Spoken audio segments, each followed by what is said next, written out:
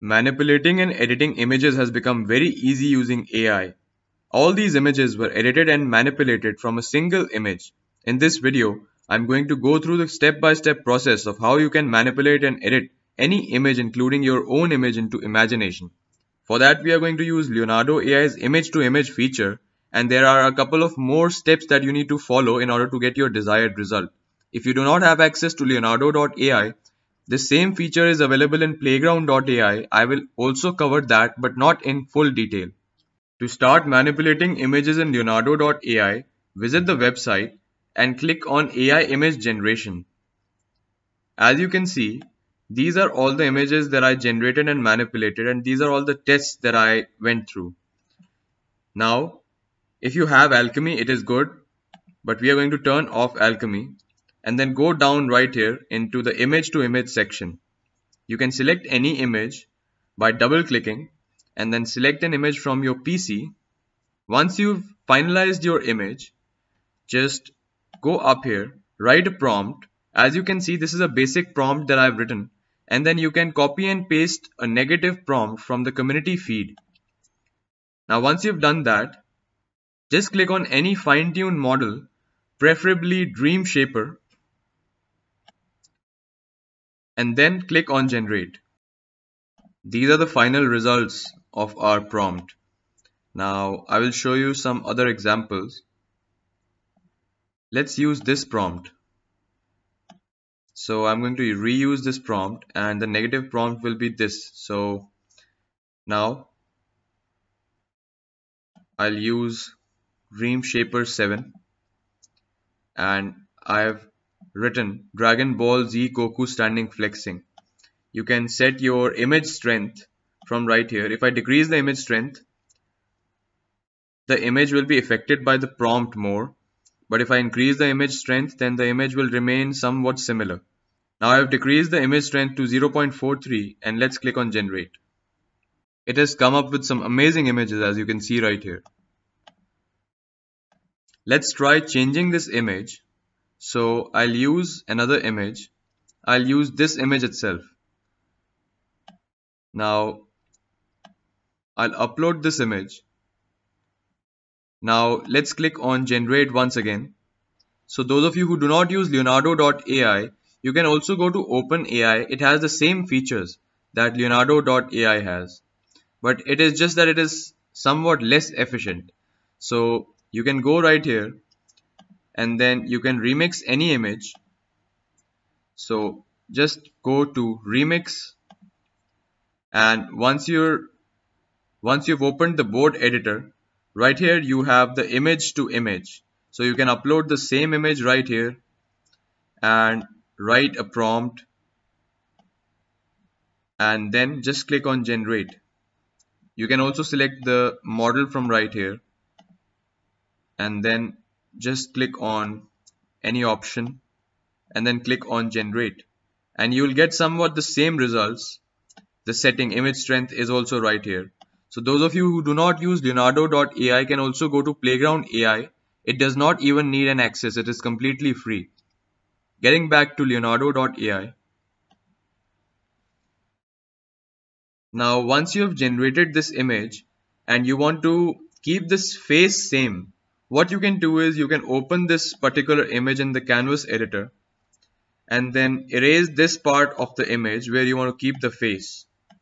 So just erase this part of the image where you want to keep the face and then upload that particular image the original face decrease the size of the canvas select the erase tool and erase everything other than the face so let's erase the whole image.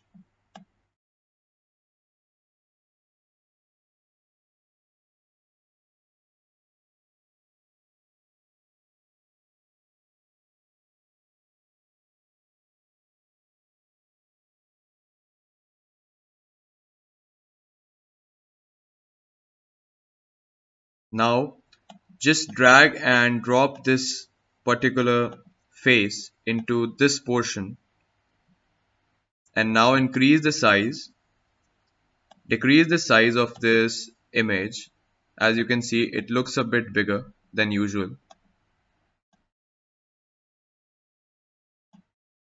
And then place it into this section right here.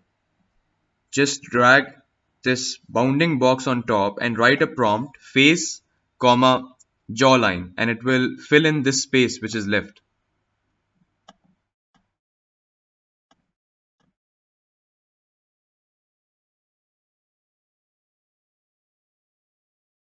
So we'll erase this part to make it a bit convenient.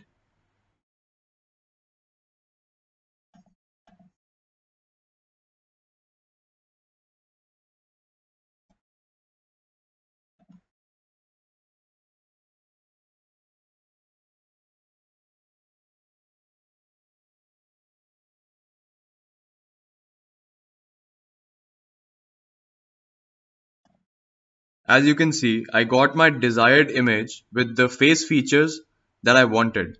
And this is one way you can edit your own images into your desired result. Click on accept and then you can just download the image.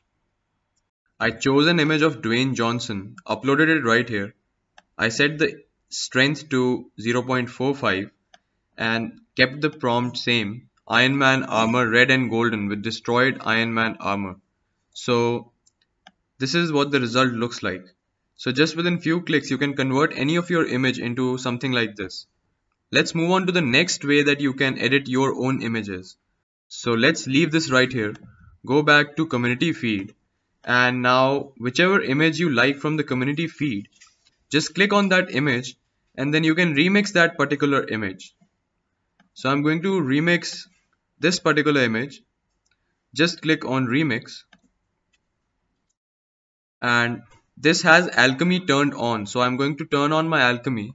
For those of you who do not have alchemy choose images which do not use alchemy for better results.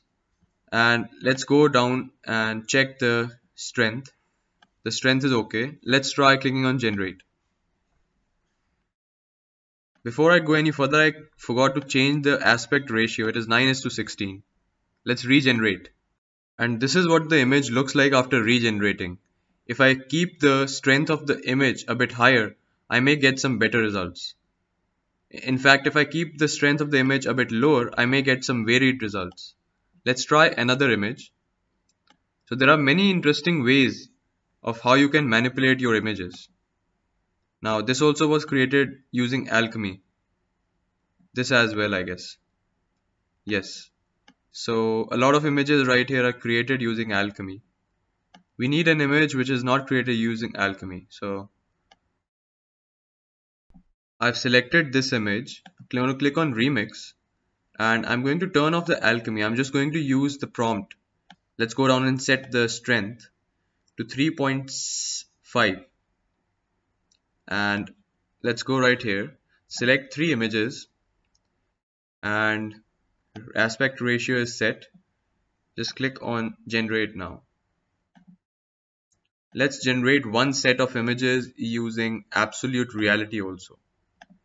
As you can see, these are the results and these are all the different images of one same image which we uploaded. So this is one way you can start editing different images into different styles from just remixing. These are some more variations of the same image. Now, now we can just click on this option to take it into canvas editor and edit it there by uploading the image that you want the face of and placing it next to the other image and then repeat the same process. So this was it for the video. If you liked the video then subscribe to the channel and I'll be back with some more AI related content and part 2 of this video soon.